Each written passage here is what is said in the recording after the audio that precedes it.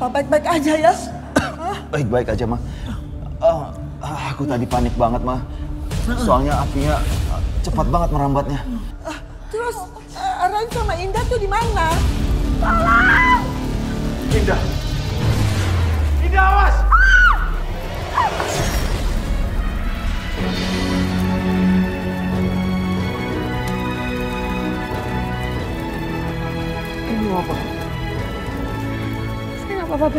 Sekarang kita harus cari jalan keluar dari sini.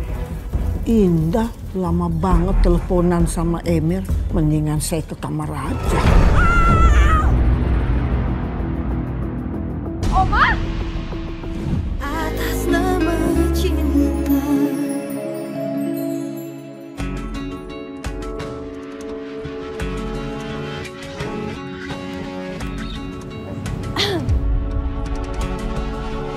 Pak Billy, Dion, kalian masih punya niatan untuk menyingkirkan Indah kan? Ya mau lah. Tapi kamu nggak perlu ikut campur. Wah, senang aja Pak. Saya bukan bermaksud ikut campur kok. Saya di sini karena saya mau cari teman kerja sama. Karena kita tuh punya musuh yang sama. Dan tujuan kita tuh sama, sama-sama ingin menyingkirkan Indah. Udah, kamu to the point aja Sofia. Sebenarnya apa tujuan kamu? Kamu mau ngapain? Saya punya rencana gimana supaya kita bisa menyingkirkan Indah. Dan menurut saya satu-satunya rencana itu adalah kita bikin Omek celaka.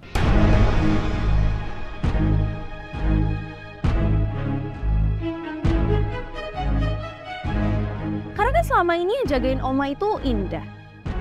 Begitu Oma celaka, pasti Ren langsung menyalahkan Indah dan langsung ngusir Indah dari rumah. Enggak, enggak. Enak aja kamu. Mau celakain ibu saya. Kalau terjadi apa-apa sama ibu saya, kamu mau tanggung jawab. Gak mungkin lah Sofia. Saya nggak mungkin juga nyelakain oma saya sendiri. Dan ide kamu tuh juga nggak bagus-bagus banget.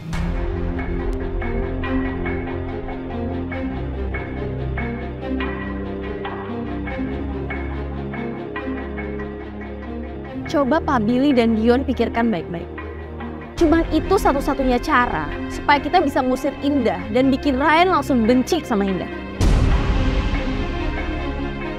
Emang kalian punya ide yang lebih bagus? Enggak kan? Buktinya aja rencana kalian gagal. Dengar ya, saya tidak mau kerjasama sama kamu. Apalagi harus mengorbankan ibu saya. Awas aja ya lo Sofia. Kalau sampai lo bener-bener nyelakain oma gue, dan sampai oma gue kenapa-napa, gue bakal cari lo. Terserah. Apaan sih perempuan itu? If ide yang kata aja. Kalau menurut aku, gak ada salahnya kok. Kita mencoba idenya si Sofia.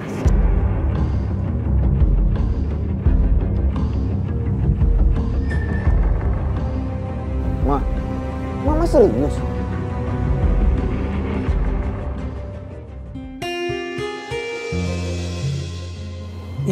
Tau nggak? Ren itu waktu kecil, aduh bener-bener nakal banget. Susah diam. Dia suka acak-acak barang. Masa sih Oma? Iya bener. Apalagi juga waktu dia masih kecil, dia suka sekali manjat pohon. Tapi begitu turun, dia susah mau turun, nangis karena minta diturunin. Ya ampun, pasti lucu banget ya ngeliat Pak Ren waktu masih kecil. Kamu kalau kenal Ren waktu kecil, wah udah deh, pasti kamu emosi banget deh. Sekarang juga sama Oma, bawaannya emosi terus. Tapi gak nyangka ya Oma, ternyata Pak Ren itu waktu kecilnya rusuh banget. Bukan rusuh lagi Indah. Aduh, Oma itu sampai pusing dah nggak? Mikirin dia bener. Ngaturnya itu susah dia. Tapi kayaknya sekarang Pak Ren kalem ya. Iya, karena begini banyak kejadian-kejadian yang membentuk karakternya dia sampai dia bisa seperti sekarang ini. Kamu tahu, waktu Ren Ah, maaf Oma ada telepon. siapa yang telepon? Hmm, Ini dari Emir. Ah, Indah angkat dulu ya teleponnya. Ya udah sana.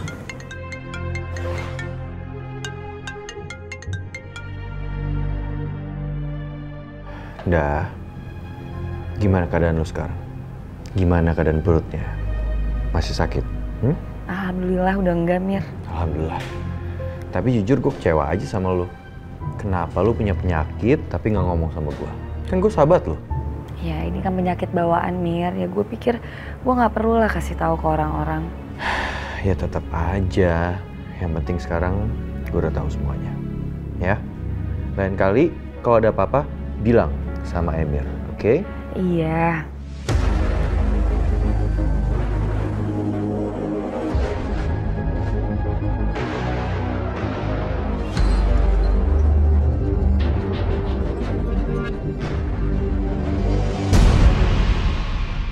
Gue mau ngomong apa lagi sama Indah ya? Halo, Mir. Eh, Ada lagi nggak yang lo mau bahas? Soalnya gue mau nemenin Oma dulu. Ada sih Indah. Jujur gue mau nanya sama lo. Em, waktu lo kekunci di kamar sama Rain, lo gak ada perasaan apa-apa kan sama dia?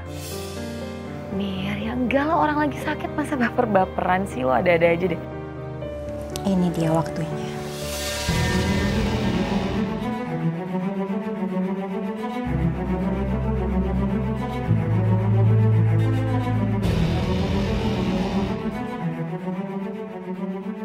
Indah lama banget teleponan sama Emir.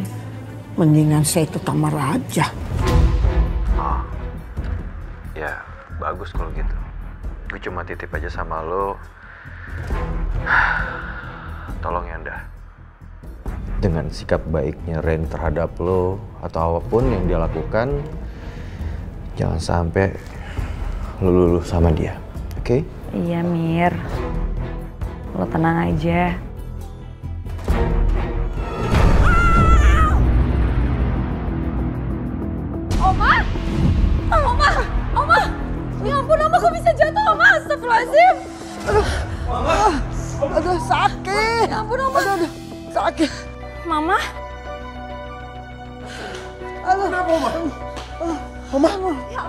Sakit pegangin. Oma gak apa-apa, Oma.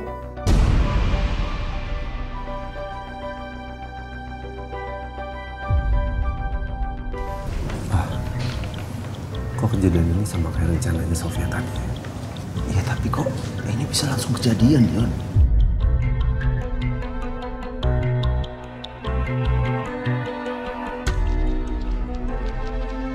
Ini semua pasti gara-gara kamu ya?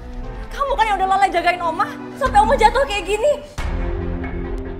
Bu, saya cuma terima telepon sebentar, Bu. Jadi kamu lebih bela-belain angkat telepon dibanding jagain Oma.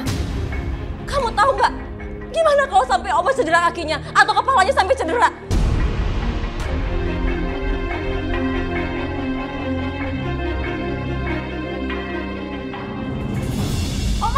Oma! Oma, astaga, Oma, Ya ampun. Oma. Indah. Oma, maafin Indah, Oma. Indah, kamu gak usah minta maaf, minta maaf segala. Percuma. Kamu tahu kan, kalau sampai Oma cedera atau kenapa-kenapa itu semua gara-gara kamu.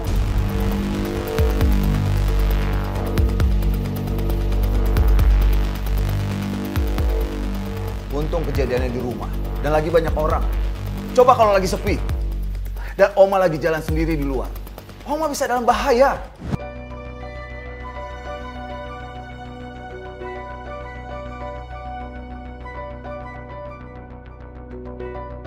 Oma, Oma bangun, Oma.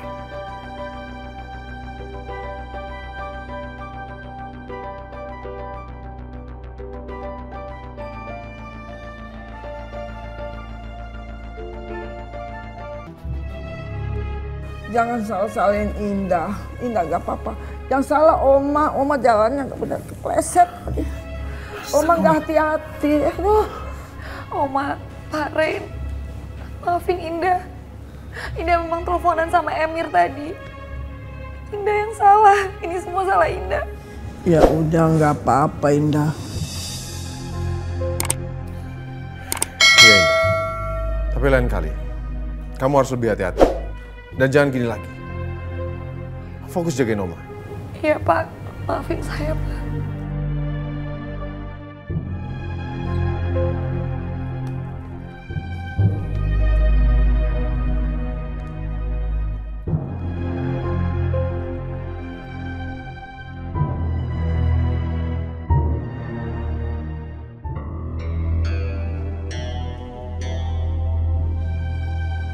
Ini pasti ulah kamu kan?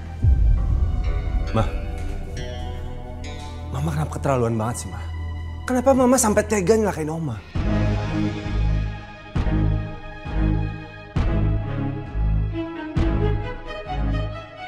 Ini semua juga kan gara-gara kalian. Gak becus ngurusin Indah. Mah, jangan bilang Mama kerja sama sama Sofia. Mama gak perlu dia. Lagian Mama kecewa sama kalian berdua. Kalian berdua itu cuma bisa omdo toh. Gak bisa ngapa-ngapain.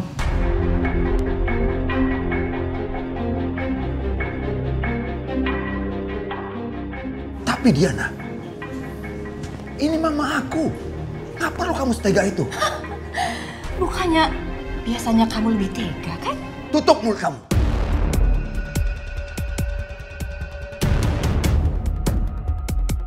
Ini apa-apaan sih? Hah, Mah? Kamu tanya aja papa kamu.